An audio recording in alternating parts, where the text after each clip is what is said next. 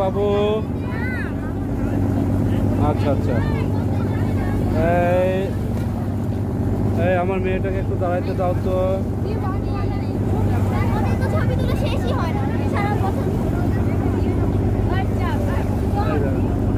আমার মেয়ে খুব রাগে। আপনার দাও বাবু।